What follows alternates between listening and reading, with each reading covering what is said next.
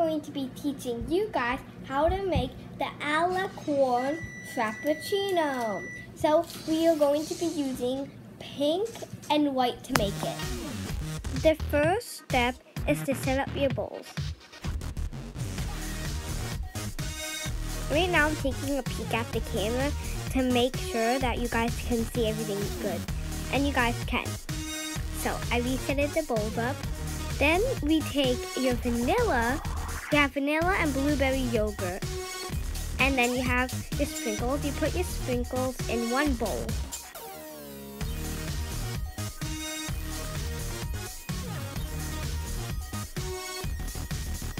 And here's a close-up.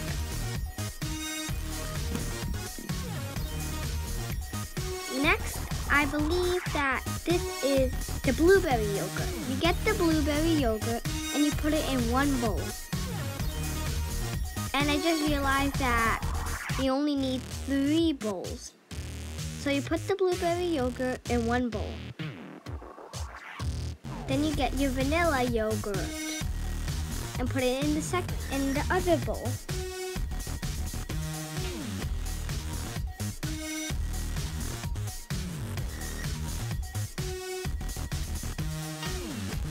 See? Then blueberry yogurt pink, add two drops of the red food coloring into the blueberry yogurt. And I just realized that I didn't really have a spoon, so I'm gonna go get a spoon right now.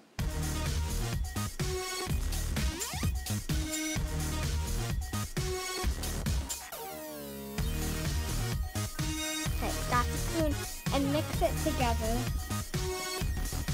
Keep mixing until all of the red food coloring turns the blueberry yogurt into pink. And you might have to add some more drops and you might have to, you know, only add one drop.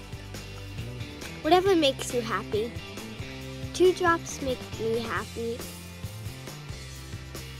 Okay, then you put everything aside and you get your two colors and you might also have to mix it.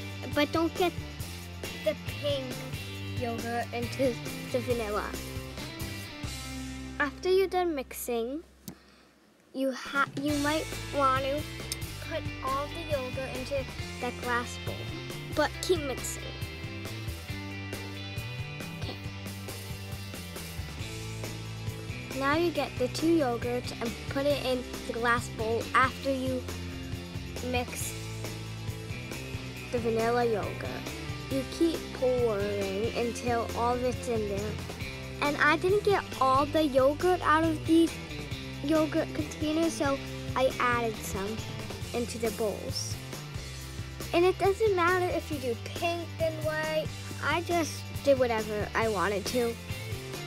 But when you get highlights in your hair, I mean low lights, then you might want to do white last.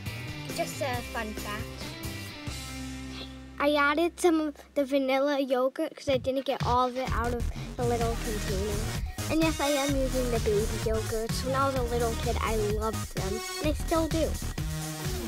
And this is also how you make the healthy and the tasting good a la corn frappuccino.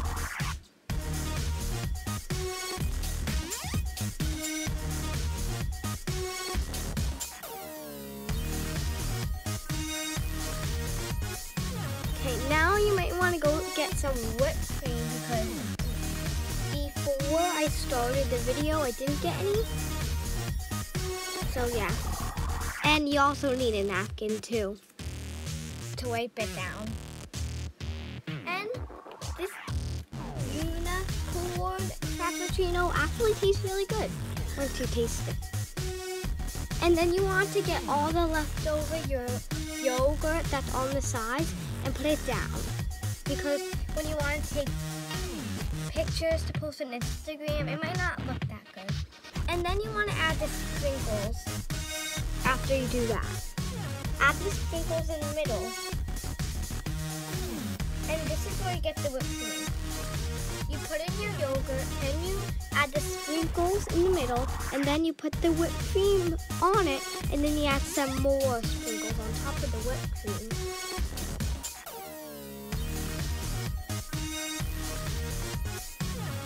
And that is how you make the alicorn frappuccino. And it did spill, but that's okay.